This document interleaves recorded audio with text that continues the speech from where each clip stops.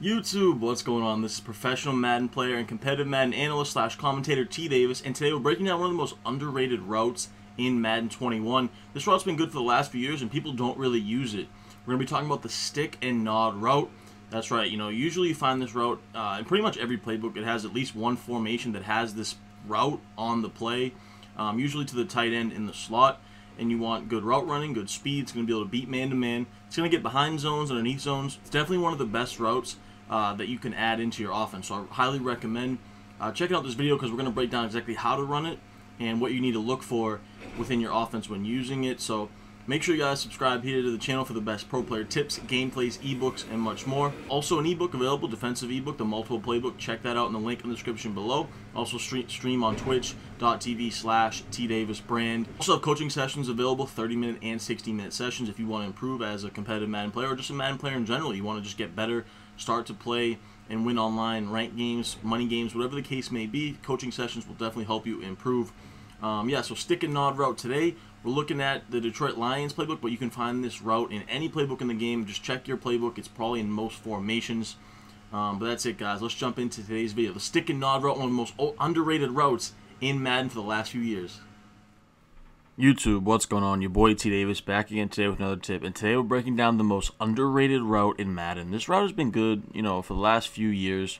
It really can beat every coverage in the game, and I'm talking about the stick and nod route. So here, um, we're in the empty Y flex formation, and I'm not a huge fan of this formation, but this we're just breaking down this route, and this route is is is just super underrated, one of the best every year, like I said. But you can find this route in a lot of different formations. So the play the the formation, the playbook doesn't matter. You can pretty much find this route in every single playbook in the game.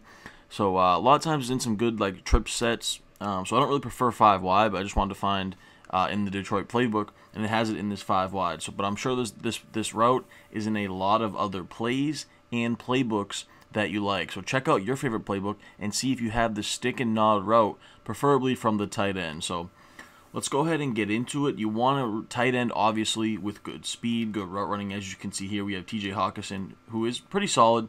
Not not great, but he's not the worst. You can do definitely um, a lot worse than him. So, like I said, though, you want some speed. You want some good medium route running uh, for this route, um, especially if you want to beat man-to-man. And you, as you guys know, in Madden 21, man-to-man has been very prevalent. It's been very popular in the meta as far as in the community.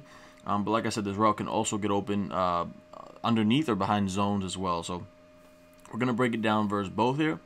First, we'll take a look at it versus man-to-man. We'll just come out in a basic cover two-man, as, as we see that a lot this year as one of the popular defenses, like I said. So, taking a look at it here, a lot of times also, you know, you're going to get matched up against a linebacker and, and, or even a safety in some of these spots. And if you play regs, um, you're going to have a great mismatch a lot of the times if you use a team with a good tight end like the Chiefs or even the Niners or the uh, just there's a bunch of teams. And then in MUT, get that Vernon Davis, get that um, uh, Jermichael Finley, and I believe there's another good tight end too. So there's a couple good tight ends in MUT that you definitely want to get on your squad to be able to run this route with, with a lot of speed and route running.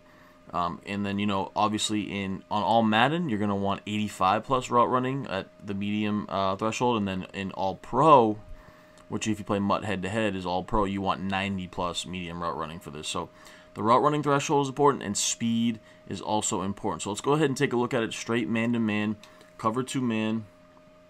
Um, he ran it kind of, he kind of went crooked there. I think he got bumped on the line. So let's try that again, because that's not what it's supposed to look like. I'm not sure what happened right there. But you go straight up like that. Look at that. Look at that separation he gets. I mean, that is just insane separation. Um, and that was versus safety right there. So, as you can see, we have him on Dugger, who has good speed as a safety. And a lot of times you can throw like this as well. You're going to be able to, there's, you're never going to throw a pick on this road is what I'm trying to say. So um, usually he's going to torch him man-to-man. He, he runs it a little weird right there again, but as you can see, he gets about three steps on him. I think he's getting bumped a couple times here on the line, and that's kind of setting him off. But usually it's right up the seam like that. Boom, look at that separation. Big play up the seam. And it's similar to real life. You know, in the NFL, you see a lot of these seam routes up the middle, the stick and nod routes, the vertical seams um, to guys like Gronk over the middle that has been so popular in the NFL. So we're kind of using that again here. Once again, he cuts. Boom. Look at that. Oh, see, he, he for some reason he's getting bumped though. So we obviously in that situation you don't want to throw it. You kind of want to wait about another step or two. Here it is again. Hockenson, big play up the seam. So we'll do it one more time here, then I'll get into the replay, how what it looks like versus man-to-man, and then we'll get into it versus a zone defense. One more time, though. Boom, look at that. Just torches his man one-on-one. -on -one. So let's go ahead and take a look at the replay. It's it's basically like a little short double move. Um, it's a little out and up kind of cut. And as you can see, I mean, no one really can guard this uh, with, with all the speed that we have in the route running. So as you can see, it's just a little kind of get off the line, cut out, boom, cut up right immediately. And right when he cuts up, that's when he gets that speed burst to kind of beat the man-to-man. -man. And we have that separation. We're able to fit it in before the safety gets there. So if they were to start using this, that's when you can start mixing in some other nice route combos. You know, you can kind of start to mix in a slant underneath here with Amendola a slant or a drag, a little in route, maybe have a streak going vertically to watch to bring the safety back. So then you kind of have a high-low read with the slant and the stick and nod, and then maybe you could even send one of these guys out on like a drag underneath as like your bailout as well. So once they do start to worry about this route, that's when you can really mix in other things to make it even more uh, dangerous within your offense. So let's go ahead and take a look at it now versus zone coverage. Um, like I said, a lot of times versus zone in this, you can make it like a decoy, but you can also throw this route as well. So we'll go ahead and, and do a basic cover three because we've seen lately cover three has been pretty popular here in the community. So we'll go ahead just with a basic kind of drag underneath.